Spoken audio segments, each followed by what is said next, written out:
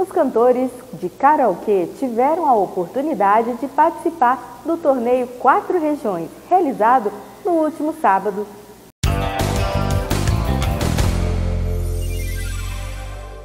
O Departamento de Karaokê da Associação Esportiva e Cultural Nipo Brasileira promoveu o torneio Quatro Regiões de Campo Grande.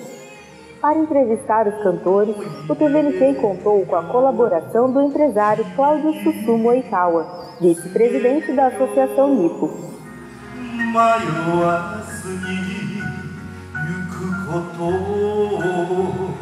A participação de convidados especiais de outras cidades ajudou a elevar o nível das apresentações.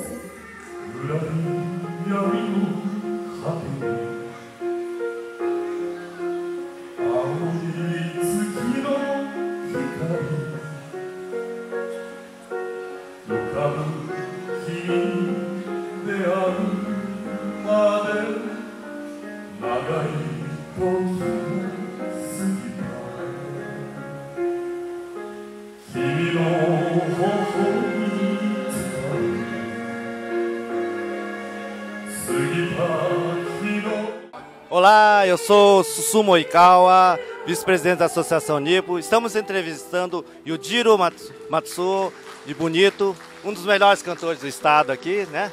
É, Yujiro, o que, que te traz assim a trazer a viajar de Bonito a Campo Grande, né? É, para nosso campeonato aqui? É, primeiro que o pessoal do karaokê aqui, né, de Campo Grande, a colônia, né, como lá em Bonito não, não tem essa tipo Caican, essa esse, esse tipo de evento, né, karaokê, essas coisas não tem Bonito. E como eu gosto de cantar bastante também, juntando tudo isso, a gente faz um sacrifíciozinho para vir até aqui. Né? Mais uma vez estamos aqui prestigiando o 16º torneio de karaokê quatro regiões de Campo Grande. E eu fiz questão de vir porque eu acho que a gente tem que prestigiar o que é bom, né? Então, estamos aqui mais uma vez. Espero que a nossa região ganhe. Eu sou médico, infelizmente não sei cantar. Né? Como marido da Shizu, que eu trago aqui para ela prestigiar esse evento sempre aqui em Campo, Campo Grande. Aqui, campo, cantar faz bem para a saúde. Infelizmente, tem certas pessoas que não têm condições e eu sou um deles. Oh, foi ótimo é, me diverti bastante. Aqui vale tudo, hoje vale tudo. É, fui jurado, fui cantor, agora vamos ver o resultado. Eu acho que nosso grupo aí, é, eu não sei qual, acho que é um, grupo um, acho que é. São quatro regiões, são um, dois, três, quatro. O meu eu acho que é um, eu acho que vai ganhar, viu? Vamos torcer. Obrigado, viu? A diretoria do Departamento de Karaokê vem incentivando as famílias a trazer as crianças para ir se acostumando com o palco. O Ical entrevistou uma das promessas do Campo Mirim.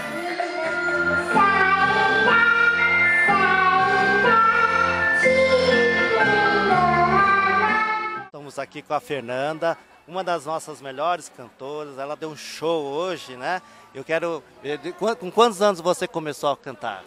Eu comecei a cantar com dois anos e meio aqui na Nipo e venham participar porque é bem legal. Além das jovens promessas, o torneio Quatro Regiões fez retornar ao palco o cantor Milton Curachi, procurador do estado de Mato Grosso do Sul e colega do repórter.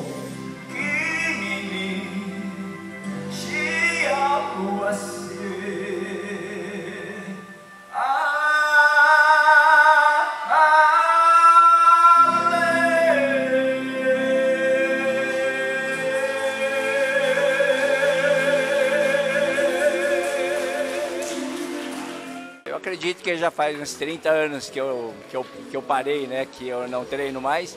Mas é, sempre é hora de voltar. Né? Então aqui estou prestigiando o Festival de Karaokê e espero que eu consiga cantar tranquilamente. A empresária Meire Yasuda, voluntária do grupo Hosokai, interpretou uma canção muito popular no Japão. É, eu sou da equipe do Niku, que é o 2, amarelo. Hoje a nossa turma veio quase completo.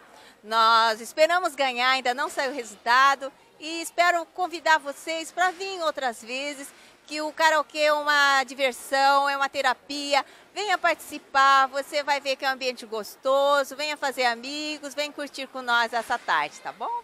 A cantora Atemilin foi convidada a atuar como jurada neste sábado. O TV Nikkei aproveitou seu domínio do idioma japonês para ouvir a professora Yuka Kobayashi, que fez sua estreia no karaokê da Nipo. Bom, segundo o que eu fiquei sabendo, ela veio para Visconde e, ao mesmo tempo, ela fazia parte do pessoal do grupo de Yosakoi no Japão durante 13 anos e também do Taiko. Então, ela veio recentemente, está gostando do Brasil, que eu já tive a oportunidade de conversar com ela, muito simpática. E aí ela está muito animada para prestigiar a Associação Nipo durante os dois anos que ela vai ficar aqui. はい、えー、何を話？何でも。小小牧パラよろしくとか。あーええポルトゲスですか？あちょっとポルトゲスでもいいですあー。おい。の名前、ね、あーエウソユカイエウソードジャパンイエウボフィカル？アキのカンポグランジ。えー、ポルドイスアノス。イあーアインダナオンえー、エンテンジートードスね。えー、エウ ainda agora aprendendo português e mas eh, eu gosto de Brasil e Campo Grande, né, aqui. Hai, é, eh, muito prazer, yoroshiku onegaishimasu, ganbarimasu.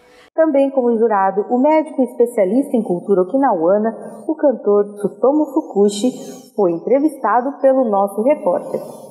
Já faz quantos anos que já está de jurado aqui? Quanto tempo já canta karaokê também?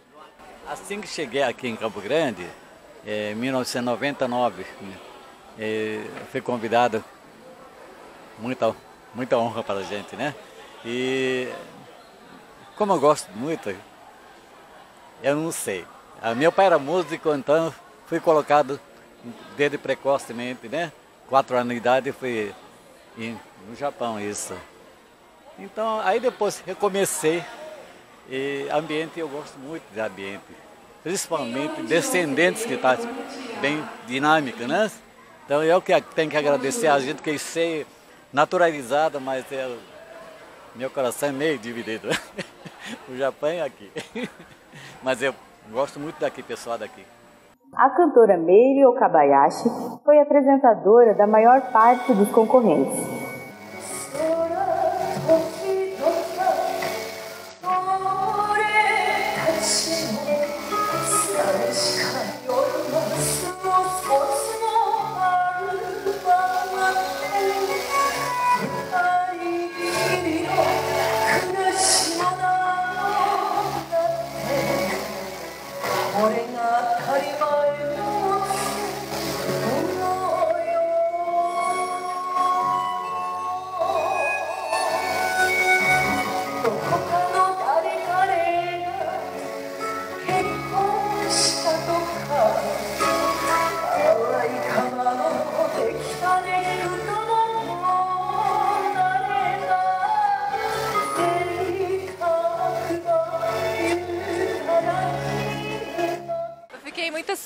Surpresa hoje, porque tô, quase não teve é, gente que faltou, né, do quem estava inscrito.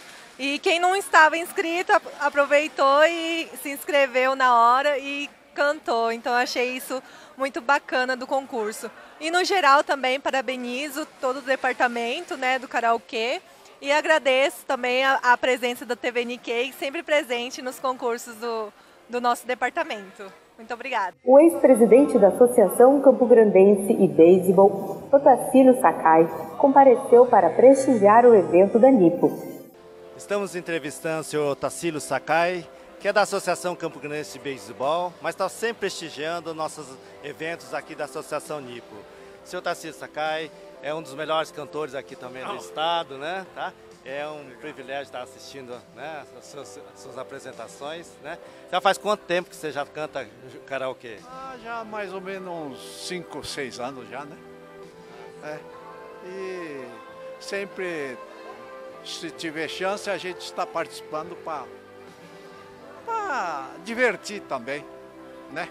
E parabéns pelas organizações do Nipo aqui e TV Nikkei sempre dando a cobertura nesse evento dos Nikkei, que é muito pouco colaboração, mas o TV Nikkei sempre colaborou. Parabéns, TV Nikkei. Eu espero continuar sempre esse evento e apoio também pela é, Sociedade Nikkei. Parabéns. Primeiramente, eu quero parabenizar os organizadores, a comissão organizadora do evento e aproveito a oportunidade de dizer a todos vocês que estão bastante satisfeitos com, com ele. Eu acho que tem muita, tem muita disparidade no karaokê que você vê. Que nem o Nilton Kurashi, por exemplo, é um cara fora de sério. Eu acho que é um dos grandes cantores que nós temos aqui no estado. Então, eu acho que é interessante a gente vir participar. Eu, eu fui convidado pela Yolanda, então estou aqui participando junto com você.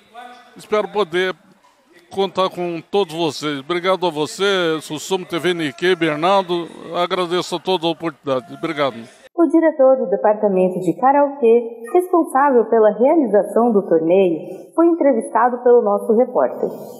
Bom, eu, com, com grande surpresa, nós recebemos muitas inscrições. É um evento, primeiro evento do ano de 2019 e foi realmente surpreendente o número de, de cantores inscritos. Né? E eu acho que isso aí é muito, muito bom, eu acho que é um, é um começo, um recomeço do nosso departamento de karaokê. Ao final da competição, Paulo Yoshizumi convidou ao palco um representante da equipe vencedora. Primeiro lugar, região 3, azul, 356 e 880.